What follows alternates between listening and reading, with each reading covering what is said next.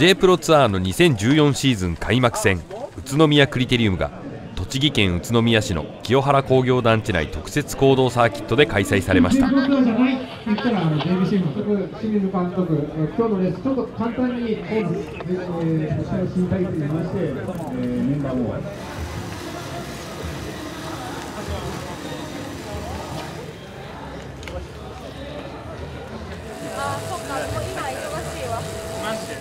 当日はレース以外にもさまざまなイベントが開催されメインレースに向けて会場のボルテージは最高潮に達していきます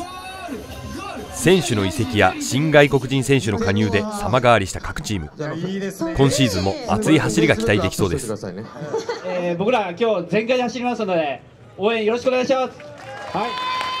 はい、ありがとうございました。宇都宮ブリッツェンの選手たちでした。イルウェアのナスブラゼンです。お願いします。はい。そうですね。まあチームは見ての通り強い選手が揃ってるので、まああの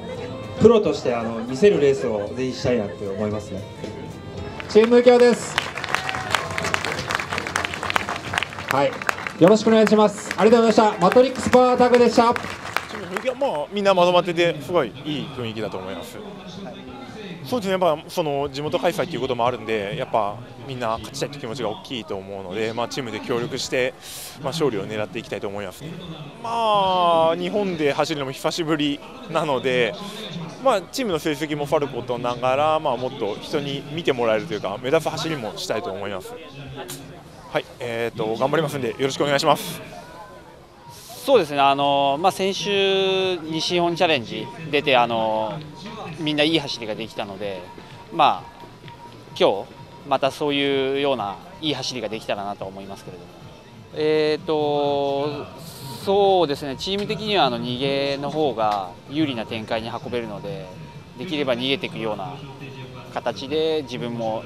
その逃げに乗れるような展開で走れたらなと思いますけど、えー、宇都宮第一戦ということであのこれから23戦続きますがまず宇都宮地元で優勝を目指して頑張ります。応援よろしくお願いします。雰囲気はねすごいいいんですけどまだ正直言うと僕合宿とかもね今シーズン1回も行けなくて誰が調子いいかとか全然分かんなくて、まあ、今日のレース見て、えー、みんなの客室だとかコンディションとか見てこの後、まあ伊吹山とか、えー、南紀とか続いていきながら海外も行くんでそういうチームのね振り分けとかをしていこうと思ってますけど。あんまりね今日は作戦なしで それで予想されるのは多分あのブリッツェンのね、えー、からいった阿部君なんかも最初から積極的に逃げていくだろうし大きなそのなんか逃げ集団ができないようにそこにみんなブリッジかけてってね。そうなると見てると後手後手に回っちゃうからそういうところは細かくチェックしてで最後にただ足は止めとかないといけないしみんな考えてねっていうぐらいで。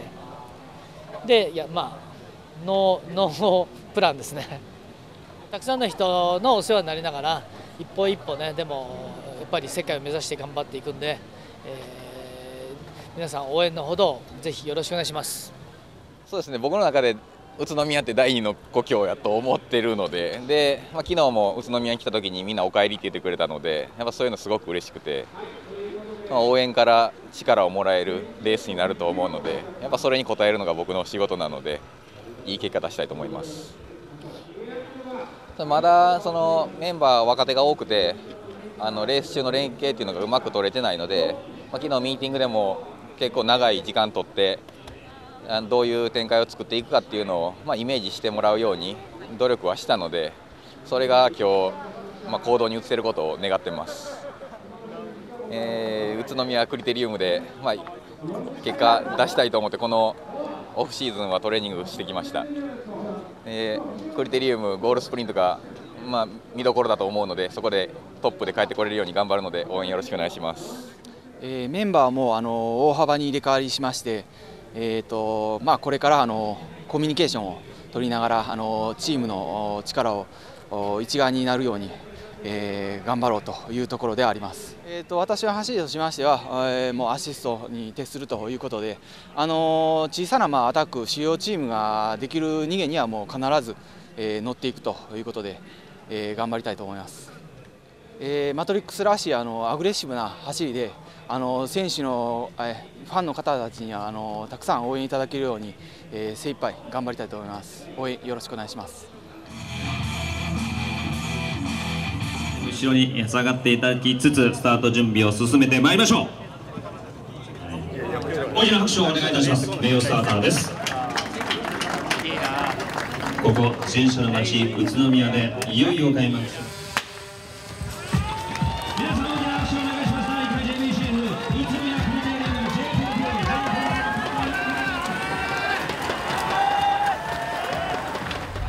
レースがスタートすると早速1周目からチーム右京バルセッキ・フラビオ選手。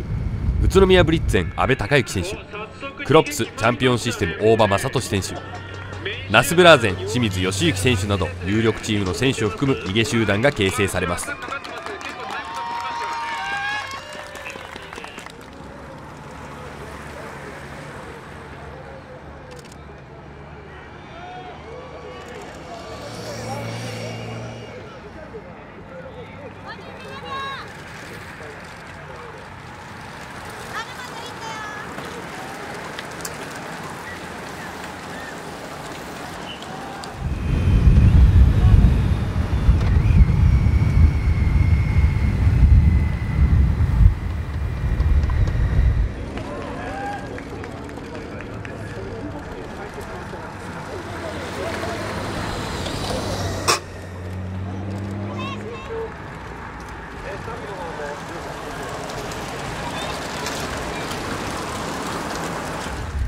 そこにメイン集団から成島フレンドレーシング倉林貴彦選手と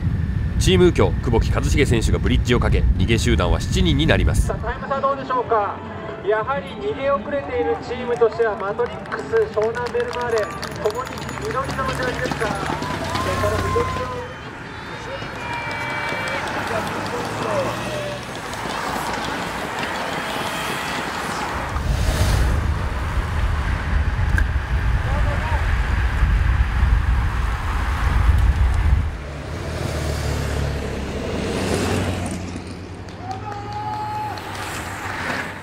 一方逃げに選手を送り込んでいないマトリックスパータグ勢が先頭を牽引するメイン集団は徐々にペースアップ。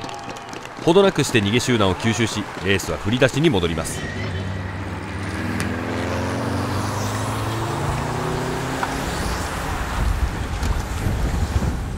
今回のレースは5周10周15周20周と5周回ごとにスプリントポイントが設置されているのも見どころ。各選手がポイント狙いで積極的にアタックを仕掛けます。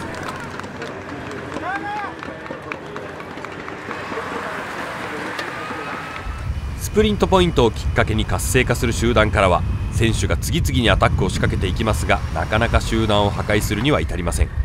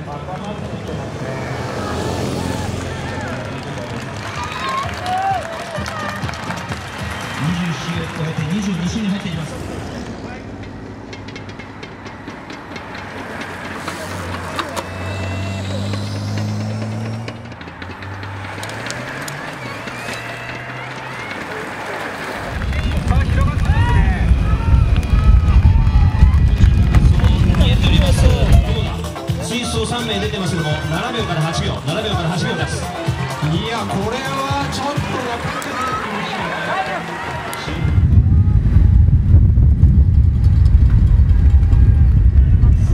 と残り2周回に入るタイミングで久しぶりの国内レースとなるラスブラーゼン佐野純也選手が単独で飛び出しを見せますが逃げは決まらず勝負は大集団でのゴールスプリントが濃厚になっていきます。最終周回に入るとチーム右京やマトリックスパワータグなどの有力チームがスプリントに向けてトレインを形成。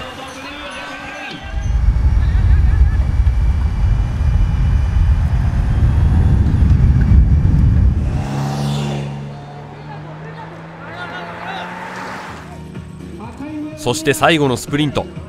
チームメイトのアシストを受けたマトリックスパータグの新外国人選手セバスチャン・モラ選手が先頭でゴールを駆け抜け嬉しい初勝利を飾りました。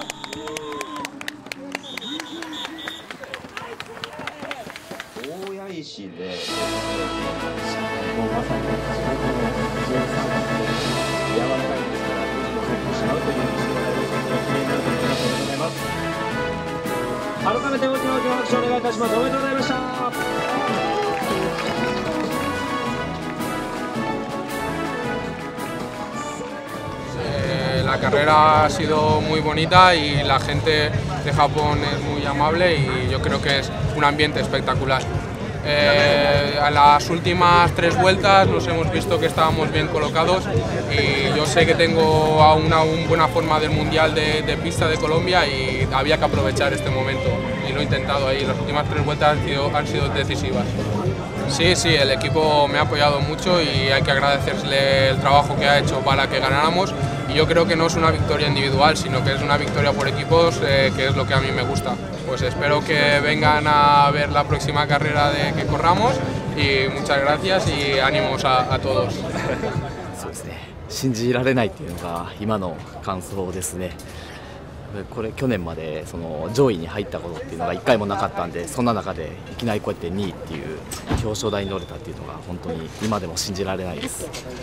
あの最終週間に向けてそのチームがうまいことで一位位置取りをしてくれたんで、まあ、その中に自分も入るっていうところを目指して走った結果ですね結構最終のところでもあの局面でも足を温存しながら走れたっていうのがあの今回の結果に結びついたのかなと、まあ、チームの力ですね。当はそのあの龍太郎君っていうのがエースっていう形だったんですけどちょっと隊列が乱れてしまいまして僕は後ろ辺に回ったんですけど、まあ、結果的にま僕は2番に入れたんで,、はい、で2番5番っていうようなえあの最高の結果を得られたかなと思います。非常にその集団時代が混乱してて非常に怖い中やったんですけれどもうまくですねあのそれを落車を避けながらいい位置をキープできたかなとで気持ちでまずま負けないようにとあの競ってきても必ず自分の位置をキープするんだって強い気持ちで最終周回を臨みました。いやもう無我夢中で何が起こったのかわからない何争いをしているのかもよくわからないような状況だったんですけれどももう横のマトリックスの選手ともう競りながらもう必死でスプリントしましたね、まあ、僕もこの社会人から自転車初めてあのコツコツやってきたんですけれども、まあ、その中でこういう結果が得られるっていうのはあの一般の市民のレーサーの方にも勇気を与えることができたかなというふうに思います。ありがとうございました。とても悔しいですね、はい。えー、そうですね。オーダーとしては僕は今週落車をしててちょっとコンディションは悪かったんですよ。でも僕は後ろで走るっていう感じでお願いしてたんですけど、まあ、やっぱり レースになると気持ちが入って、まあ、頑張れる感じになっちゃって。で途中のスプリントポイント取れてで勝負最後の勝負も、まあ、いけたら行くって感じだったんで特にこれといってオーダーはなかったんで臨機応変に動くっていう感じの作戦でしたね。落車があってそれで列車が崩れちゃってから足を使ってちょっと場所取りが悪くてそこから持ち直したので そこがポイントだったかなと思います。白浜はもちろんチームの あのー、見せ場だと思うんで絶対にジャージを獲得したいと思います、えー、今年もチーム右京頑張りますので応援よろしくお願いします。